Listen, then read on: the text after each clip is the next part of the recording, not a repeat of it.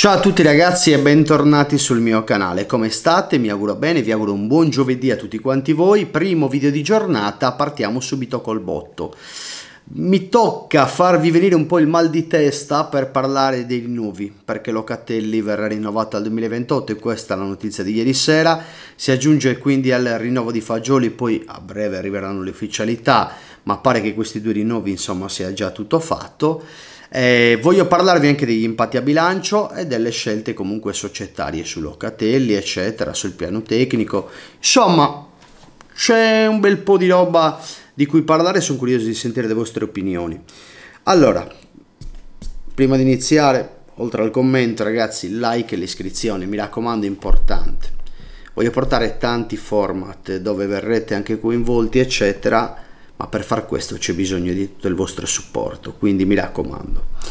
Allora, parliamo subito di Locatelli, rinnovato al 2028, sappiamo già che lui è, acquistato, è stato acquistato dal Sassuolo con una formula un po' particolare, un prestito biennale con un obbligo di riscatto, è fissato alla prima presenza insomma di quest'anno qua, è stato pagato 37,5 milioni di euro e questo è il costo di Locatelli, sono tanti soldi, tanti probabilmente anche oltre quello che è il suo effettivo reale valore, questa col seno di poi la possiamo dire anche per la sua resa, poi magari fra qualche anno varrà anche di più di quei 40 milioni, però ad oggi non ha dimostrato di avere quel valore là. Però, però, però, però, però, c'è da dire una cosa su Locatelli. Vedo tante critiche secondo me ingiustificate. Io credo che lui vada a ricoprire uno dei ruoli un po' più complessi e delicati all'interno dello scacchiere di Allegri perché ve l'ho già detto miliardi di volte quali sono le difficoltà nella circolazione di palla a centrocampo, non ci sono linee di passaggio facili.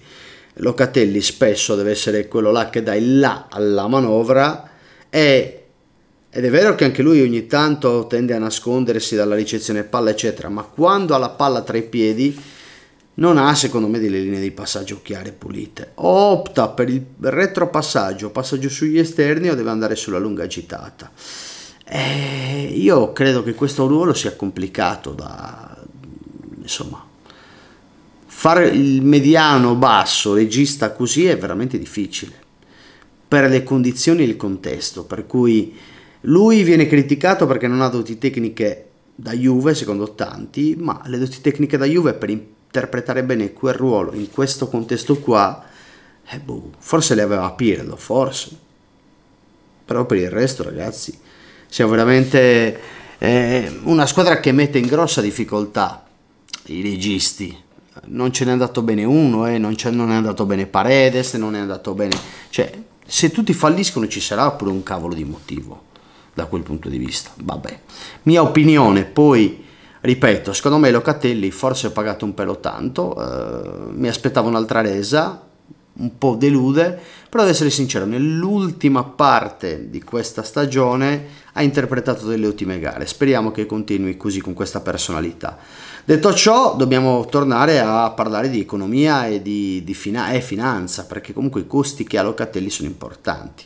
Ha un contratto in scadenza nel 2026 e ha dei costi ammortamenti alti, perché dal momento in cui scatta l'obbligo di riscatto, credo che l'intera cifra dell'operazione poi vada su, spalmata su questi tre anni, quindi 37,5 diviso 3 banalmente è un'operazione facile facile da fare sono tanti soldi. Per cui l'allungamento del contratto consente alla Juve di spalmare questa cifra in 5 anni e non più in 3 e ciò significa abbassare i costi annuali se andiamo a vedere nel bilancio 2023 nel dettaglio, vedremo che la voce dei ammortamenti e svalutazione è la seconda voce dei costi più importante.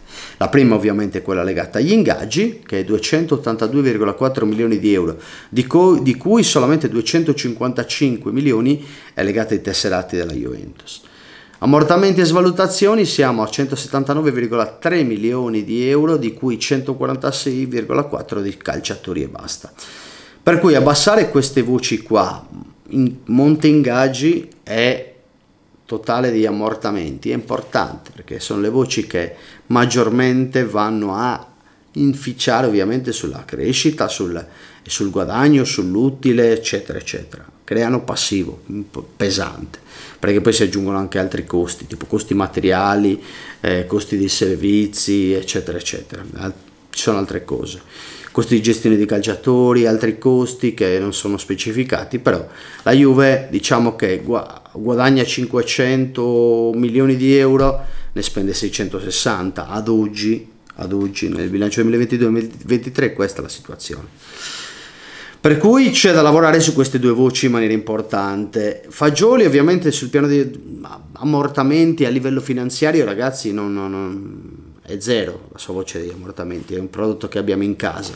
Ed è per questo che si incastra molto bene la politica della Juve legata agli Under 23, perché anziché avere 3-4 panchinari dove acquisti il cartellino, che hanno comunque dei costi, molto meglio ogni anno avere 2-3 giocatori dall'Under, metterli in squadra e A, non avere costi di ammortamenti, B, hai un ingaggio abbastanza basso, basso rispetto al cal- classico calciatore che prendi dalla categoria.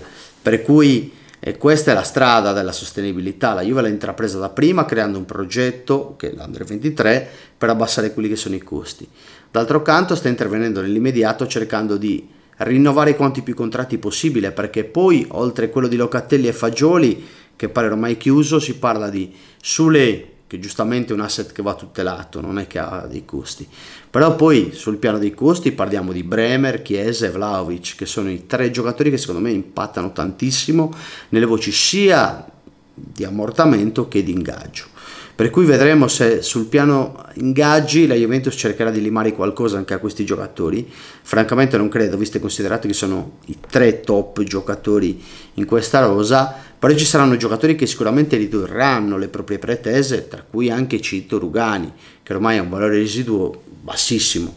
Però abbassare banalmente anche il costo dei cartellini, cioè scusate, dell'ingaggio, eh, sarebbe già un, un, ultimo traguardo. Per cui mi pare chiara la scelta della società, questa rincorsa ai rinnovi è dettata soprattutto da una necessità finanziaria della Juventus di, di, di risparmiare, di cercare di abbattere determinati voci dei costi.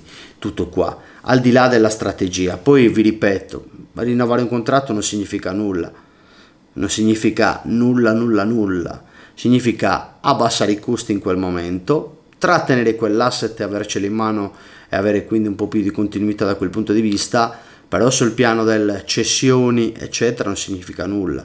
Vi ricordo che quando la Juventus rinnovò Paul Pogba poi andò via, sono tante le storie simili per cui non c'è da montarsi la testa nei rinnovi, ah rinnovato per cui rimane per forza, no, se arriva l'offerta quel giocatore parte, ecco, un'offerta che sia congrua e che ci consenta ovviamente la plusvalenza, che significa? Costo del cartellino, cioè quindi i ricavi dalla cessione meno valore residuo, la parte che rimane è la plusvalenza. E quindi eh, vediamo cosa succederà, però mi pare che l'idea della Juventus sia questa, la sta prendendo forma e, e, vi dico, Locatelli è un giocatore che secondo me è importante per la Juve, giusto tenerlo, giusto dargli fiducia e magari chissà, con un altro allenatore l'anno prossimo renderà meglio. Che ne dite? Aspetto le vostre opinioni sotto nei commenti, vi mando un forte abbraccio ragazzi e sempre fino alla fine, forza Juve!